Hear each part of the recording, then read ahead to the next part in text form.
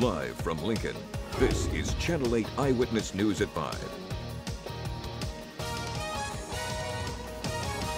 It was very contentious. Their meeting with the Nebraska senator gets heated. Good evening, everyone, and thank you for joining us. This time, Senator Ben Sasse held a town hall. Yeah, he was up in the Omaha area earlier today. He says it's important to hear from constituents. Channel 8 Eyewitness News reporter Rachel Hofstra has more in our top story. Rachel. A few weeks ago, Senator Sasse had protesters at his door demanding he hold more public events. And today, he did just that.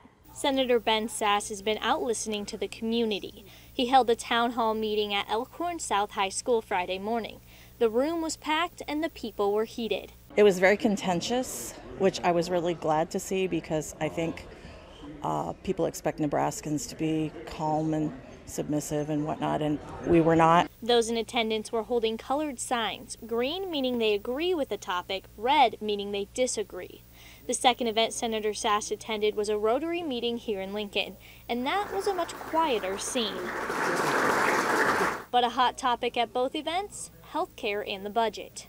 The number one problem in American healthcare that needs to be fixed is that we need to create a system where we treat people the same regardless of whether they pool through a large employer group or whether or not they're a small businessman or woman or they're a farmer or a rancher or if they're currently going through a period of uninsurance.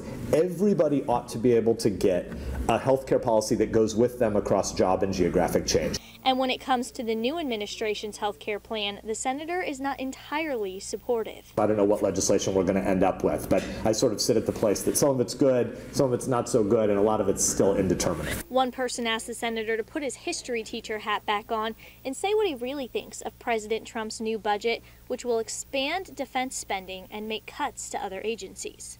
It's really important for us to have a historical understanding of where we are. We spend less on national security now than at any point in American history. It's a really big deal, and people don't understand that. Many other topics were discussed at both meetings, including political parties, education, and other current events. This was not the last stop for Senator Sasse today. He went straight from Lincoln to Aurora. Rachel Hoff.